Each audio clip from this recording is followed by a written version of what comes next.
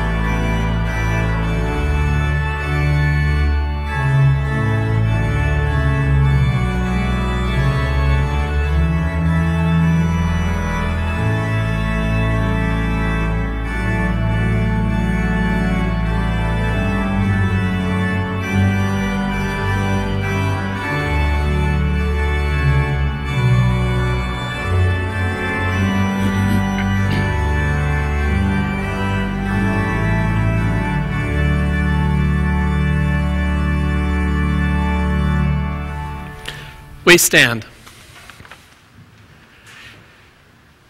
In the name of the Father, and of the Son, and of the Holy Spirit.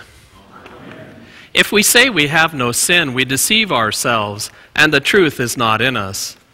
But if we confess our sins, God, who is faithful and just, will forgive our sins and cleanse us from all unrighteousness. Let us then confess our sins to God our Father. Most merciful God, we confess that we are by nature sinful and unclean. We have sinned against you in thought, word, and deed, by what we have done, by what we have left undone. We have not loved you with our whole heart. We have not loved our neighbors as ourselves. We justly deserve your present and eternal punishment. For the sake of your Son, Jesus Christ, have mercy on us, forgive us, renew us, and lead us, so that we may delight in your will and walk in your ways to the glory of your holy name. Amen. Almighty God in His mercy has given His Son to die for you, and for His sake forgives you all your sins. As a called and ordained servant of the Word, I therefore forgive you all your sins in the name of the Father, and of the Son, and of the Holy Spirit. Amen. We join in singing our Kyrie and Gloria.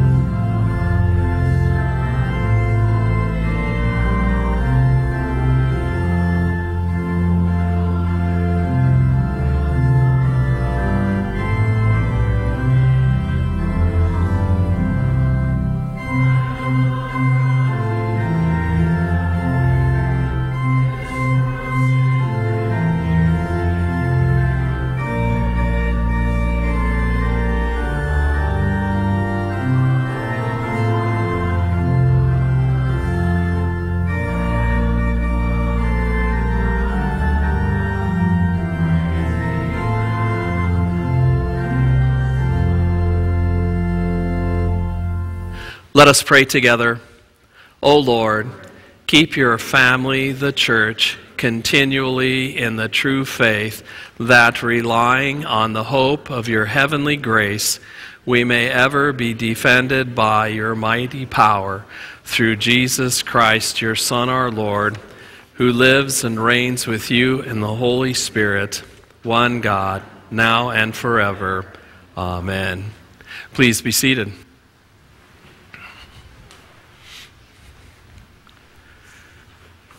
Our first lesson for today comes from Isaiah chapter 6. In the year that King Uzziah died, I saw the Lord sitting upon a throne high and lifted up, and the train of his robe filled the temple. Above him stood the seraphim. Each had six wings. With two he covered his face, and with two he covered his feet, and with two he flew. And one called to another and said, Holy, holy, holy is the Lord of hosts.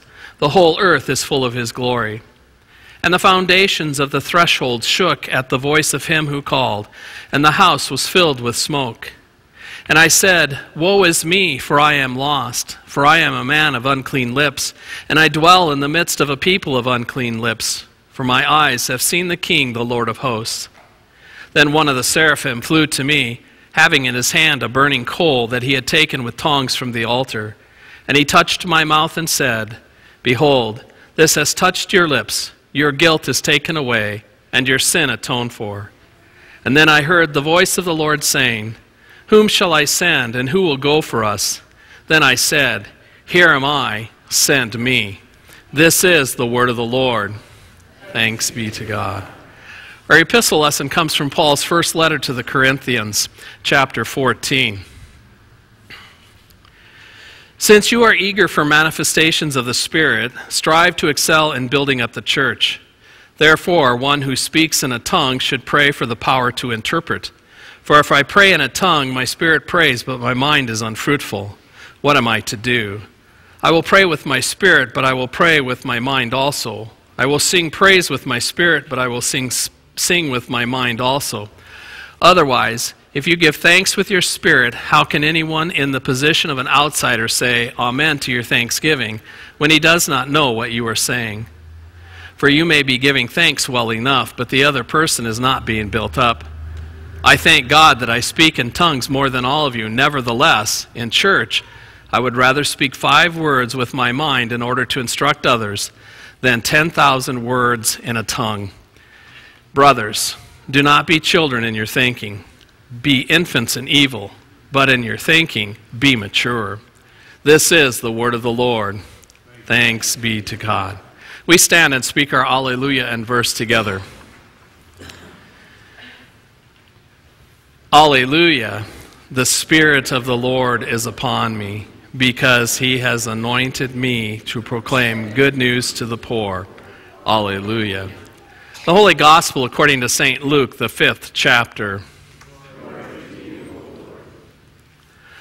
On one occasion, while the crowd was pressing in on Jesus to hear the word of God, he was standing by the lake of Gennesaret, and he saw two boats by the lake, but the fishermen had got out of them and were washing their nets. Getting into one of the boats, which was Simon's, he asked him to put out a little from the land. And he sat down and taught the people from the boat. And when he had finished speaking, he said to Simon, Put out into the deep and let down your nets for a catch. And Simon answered, Master, we toiled all night and took nothing, but at your word I will let down the nets. And when they had done this, they enclosed a large number of fish, and their nets were breaking. They signaled to their partners in the other boat to come and help them.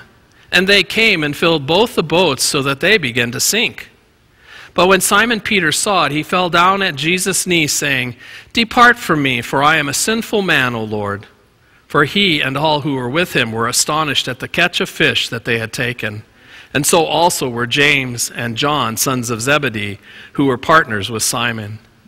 And Jesus said to Simon, Do not be afraid. From now on you will be catching men. And when they had brought their boats to land, they left everything and followed him. This is the gospel of the Lord. Praise to you, O Christ. We join in singing our creedal hymn.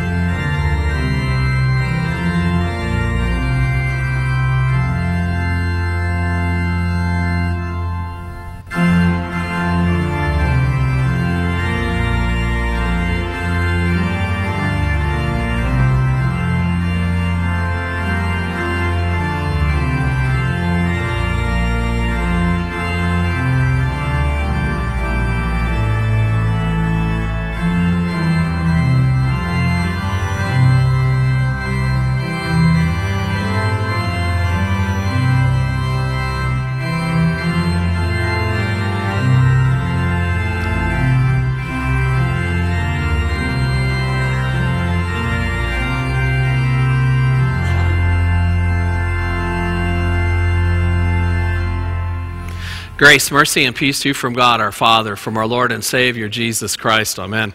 Our text for our meditation today comes from our gospel lesson of Luke 5, was read a few moments ago from the lectern. Dear friends in Christ. As we come now to this, the fifth Sunday in the season of Epiphany, it might be good for us to recall a little bit what this season is all about. The season of Epiphany is all about the revealing of the glory of God in the face of Jesus Christ, who is true God, true man for all people. We saw that took place as we just got done with Christmas. The incarnation becomes um, the, the, the shepherds come and Jesus is revealed to them in the manger, and then we have Epiphany itself, where Jesus is revealed to the wise men, the Gentiles, and we know that from our study of scriptures, he's been revealed to all people for all time. So we're moving quite quickly through Epiphany here, and it's good to always remember about the Epiphany, of the revelation of Jesus Christ for all people. In our sermon text for today, we're going to go back and look at an example of how our love for Jesus and how our trust for Jesus, our Savior, gives us the ability then to listen to our Lord and to humbly say this Because you say so, Lord.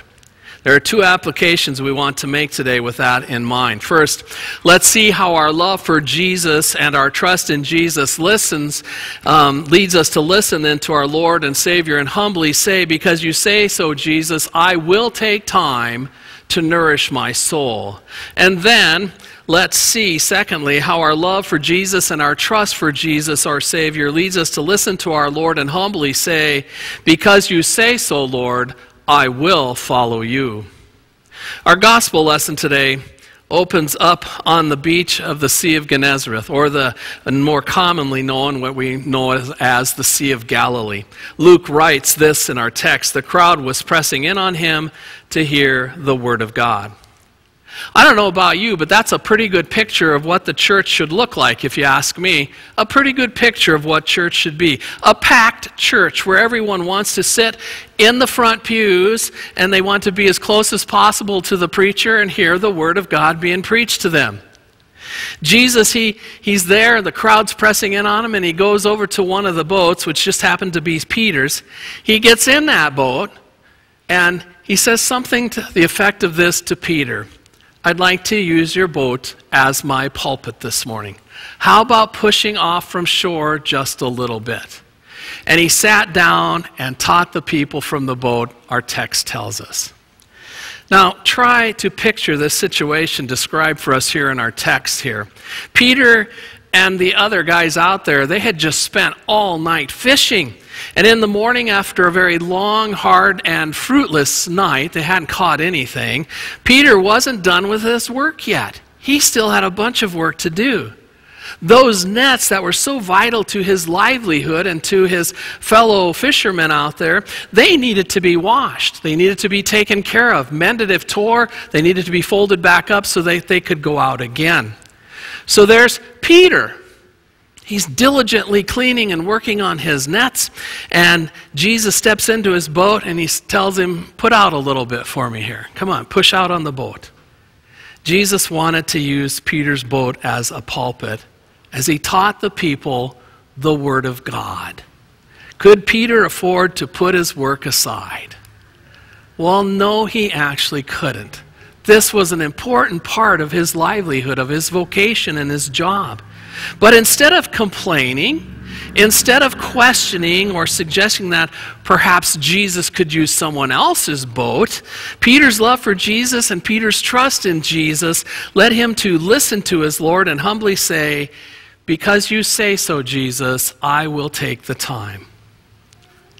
You know, for me, it, with all of our supposed time saving technology out there, it seems to me like we're so much busier than we've ever been before.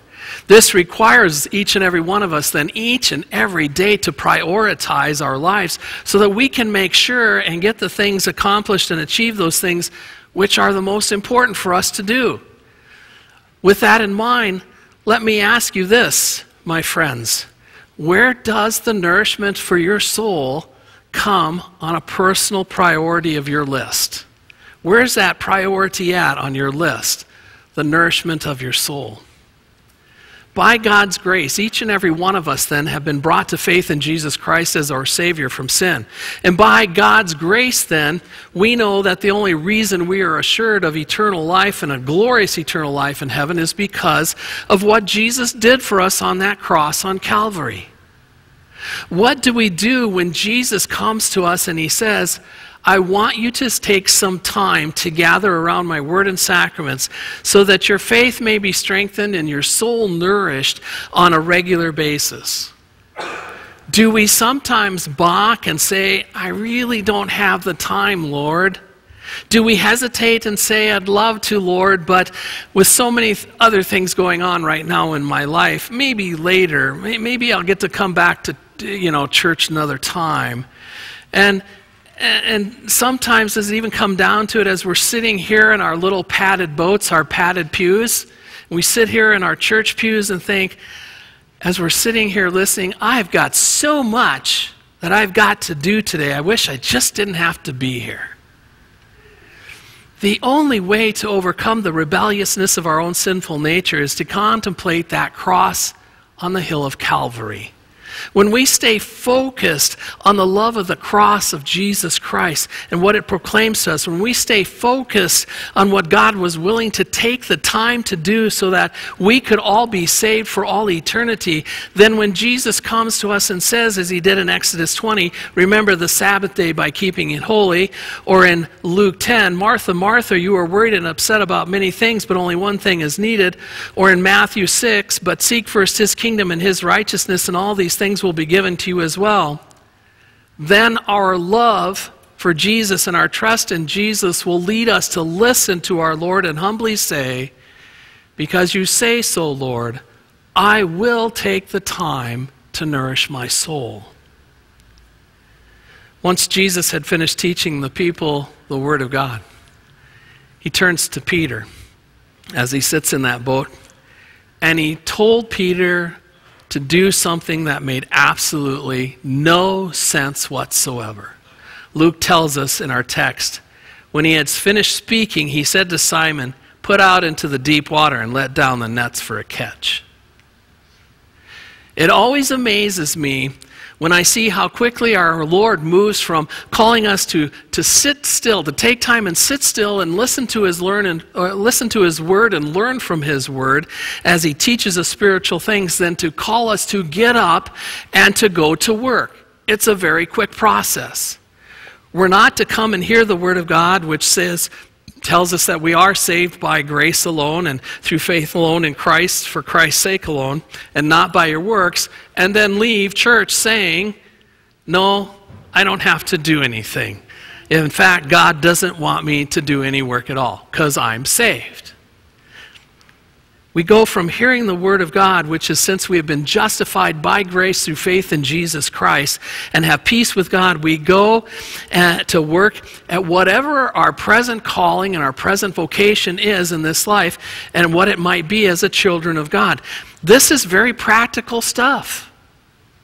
God wants us to be nourished and fed, and then when that's done, He wants us to get up and go back to life and the places we've been called to be in, in our vocations and our livelihoods, and to work for Him. As we look at this text, we have to remember Peter and those other fishermen out there, they are professional fishermen. Peter had been fishing the waters of the Sea of Galilee most all of his life. Peter knew, as well as the other ones out there, that the best time to fish was during the night, not during the day. And Peter knew that if you wanted to catch fish and let down your nets, then in the shallow waters, not in the deep water. And yet, even though Peter warned Jesus that this just didn't make a whole lot of sense to do, Peter's love for Jesus, Peter's trust in Jesus led him to listen to his Lord and humbly say, Master, we have toiled all night, but at your word I will let down the nets. Generally speaking, for us, when God's word contradicts human reason out there within the world, we want to side with human reason and reject God's word. Because if it doesn't make sense to us, we want to follow our own reason and our own mentalities. We all think we know better than God. But Peter actually shows us what it means to live by faith. Just think of what this world would be like if everybody responded to God's word like this. How differently would our families look?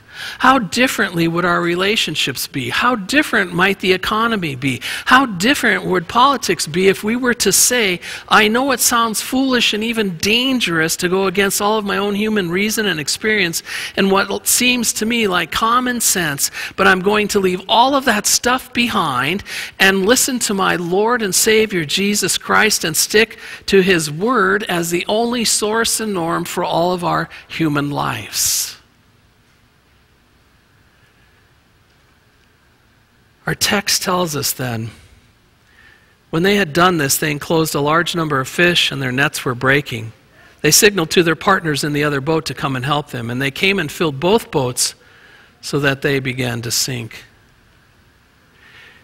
Here's the really neat thing about this text the Word of God was in that small boat with three fishermen, and His Word went out, and His their nets were filled to the point of breaking, and their boats were filled to the point of sinking. But Peter's response, as we hear in our text, is, is very strange. Instead of overwhelming joy of what has taken place here, Peter experiences overwhelming fear. There's a crisis at sea that has nothing to do with the fact that the boats were sinking. The crisis is the fishing is just way too good. This is way too generous. Way too much has gotten into their net. And this is Peter's epiphany. He now realizes who is in the boat with him. He knows who's sitting there with him in that boat.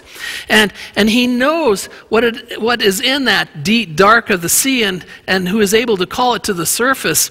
And, and that which is now able to call the same in the deep dark sea of Peter's heart up to the surface. God calls those fish from the deep dark of the sea up so that they can catch, but it also now has called up Peter's sin from within the darkness of his heart to the surface. And Peter knows that he too has now been caught in the net. And now, not only this boat, but the whole world seems way too small for Peter. This is nowhere for Peter to be at. And actually, at this point in time, Peter has absolutely nowhere to hide. And so he speaks those words that causes even the angels in heaven to gasp and turn their head in horror when he says, Depart from me, for I am a sinful man, O Lord. And then Jesus says to Simon, Do not be afraid. In other words, don't look at your sins, Peter. Look at me for I am gracious and am merciful and abounding in steadfast love. I've come to take away your sins, Peter, and cast them into the depths of the sea. So simply trust me. Don't worry about whether you're a sinner or holy, but simply and without fear put your complete trust in me and my word of forgiveness. When it comes to the way for you and I that we are to carry out our daily work and our vocations in life, Peter's just a great example for all of us to follow. And he says, But at your word I will let down the nets. By virtue of the saving faith which God Himself has created in your hearts, you have been called by the God of heaven Himself. And whenever, whatever you might do, to earn that living, to have a job, whatever you might do to have to feed your family, pay your bills, over and above absolutely everything else, you have been called to be a disciple of Jesus Christ, a follower of Jesus Christ. You are his children. Does your life faithfully, faithfully reflect this reality? When you have the opportunity to use the gift of God, gifts of God that He's given to each and every one of you to serve Him by serving His kingdom here on this earth, does your love for Jesus and your trust in Jesus as your Lord and Savior lead you then to listen to Jesus and to humbly say, Because you say so, Lord, I will follow you? When the Lord tells you that one way to openly express your thankfulness to Him and for all that He has done for you uh, here on this earth is for you to cheerfully bring your first fruits offering to His altar, does your love for Jesus, does your trust in Jesus lead you to listen and say to your Lord humbly, Because you say so, Lord, I will follow you? When the Lord reminds you that one of the most powerful ways that you can be His witness to your family and your relatives and your acquaintances and neighbors is simply by the way you live your life. Does your love for Jesus, does your trust in Jesus lead you to listen to your Lord then and humbly say, Because you say so, Lord, I will follow? Because I say so. It's not always the answer that we like to hear, is it? May God grant that in the light of the cross of Calvary, that no matter what Jesus tells us he wants us to do, and no matter what Jesus tells us he does not want us to do, may our love for Jesus and our trust in Jesus lead us to listen to our Lord and bow humbly before him and say, Because you say so, Lord. Amen. And now may the peace of God, which goes beyond all human understanding, keep our hearts and minds in true faith in Christ Jesus, our Lord and our Savior. Amen.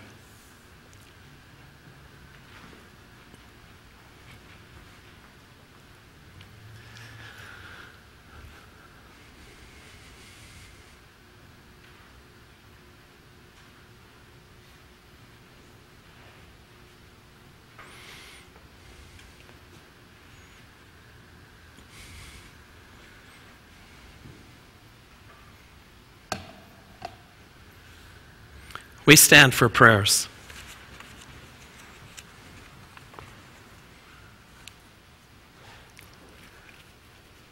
Holy Lord, open our ears, our minds, and our hearts to the sound of your voice, that your word may dwell within us, transform us by your grace into your holy children, and equip us for your service. Lord, in your mercy. Holy Lord, place your blessings upon your church and those who serve her, especially our synodical president, our district president, our pastors, all missionaries, and all church workers. We pray for those now preparing for full time service in your church. Grant them gifts sufficient for the task, prosper the work they do in your name, and make them bold in the proclamation of your gospel. Lord, in your mercy. Holy Lord, Give wisdom to those who lead us in this land and to all the leaders of the nation. Guide them in the path of peace, encourage them to act with justice, and lead them to protect the weakest and most vulnerable among their citizens. Lord, in your mercy. Holy Lord, grant us your Holy Spirit to overcome the fears of our heart, so that we may, with unhindered voice, proclaim Jesus Christ to all people. Bless all the newly planted congregations of our Synod and the work of outreach here and everywhere across the world. Lord, in your mercy. Holy Lord, give your light to those whose minds and hearts are clouded with darkness and fear. Give your healing to the sick, the hospitalized, those preparing for surgery, and those recovering. And especially remember Becky Johnson, who continues with health issues.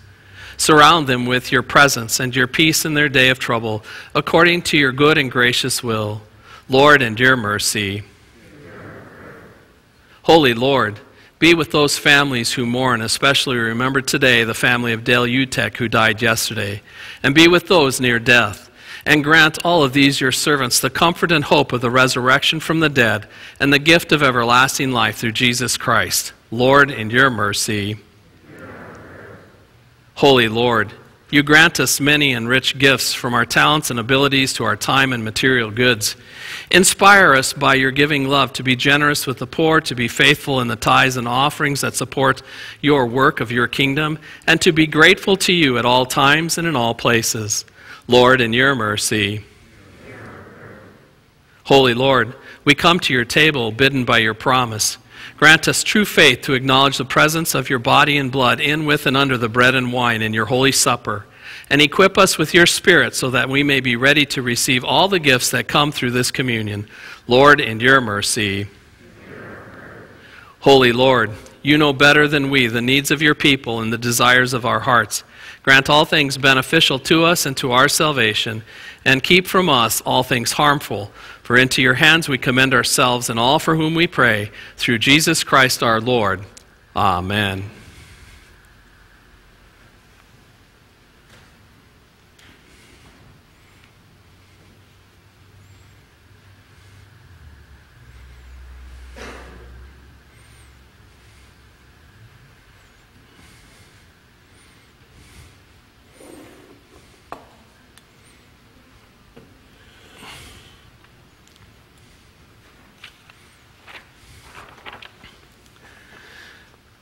I exhort you in Christ that you give attention to the testament of Christ in true faith.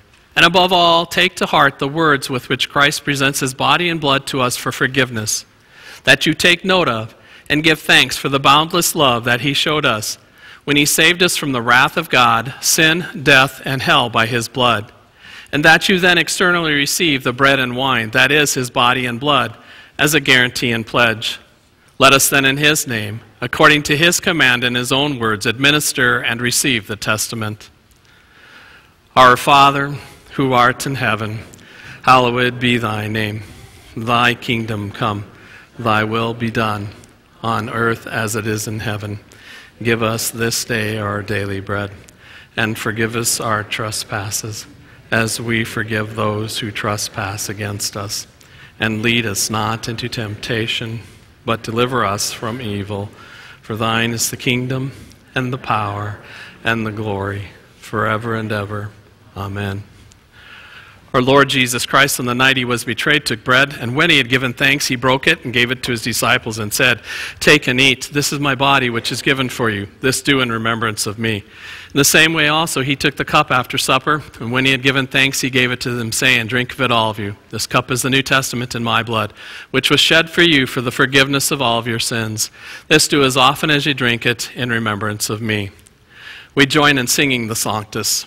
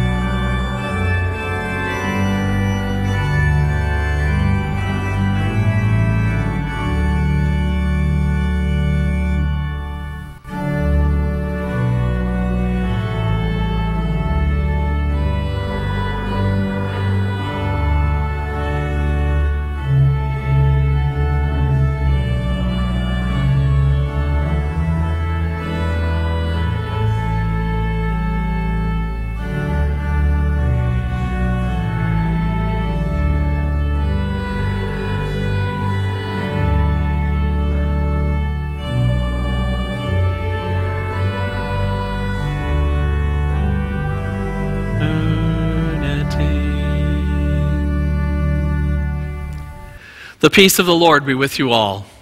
Amen. We sing the Agnus Dei.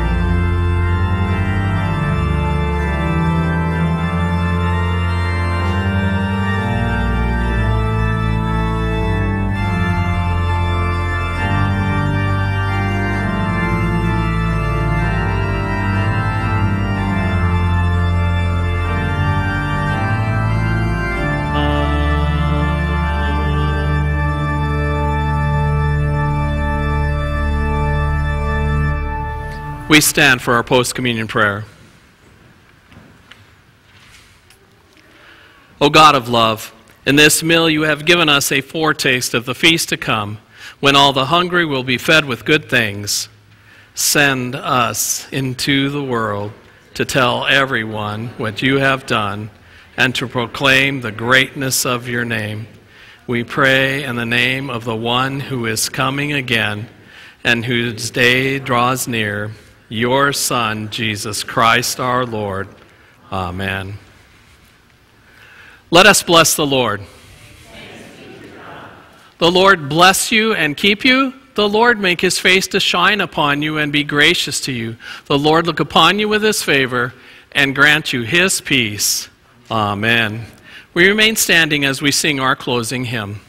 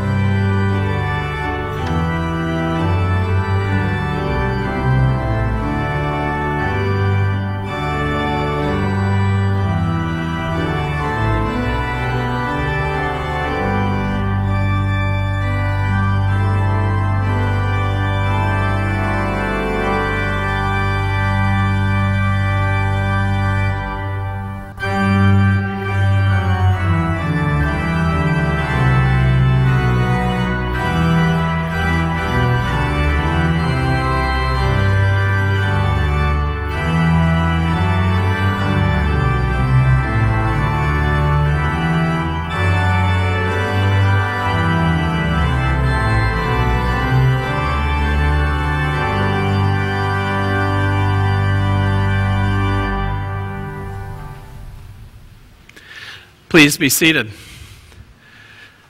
Again, good morning to all of you. It's great to have you here as we are getting closer to the end of our Epiphany season. A couple more Sundays in Epiphany and then Transfiguration. And that first week in March, we'll be getting our Lenten season with Ash Wednesday and go to our midweek Lenten services as well as our Sundays in Lent as we move forward in our church here. As you go about your walk with the Lord this week, the Lord asks you to, because He says so, to take time and nourish your soul, and because He says so, to get up then and um, live your lives as His child, um, telling others about Jesus within your life and your vocation and all that entails. Have a great rest of the week with the Lord. I'll see you in the back.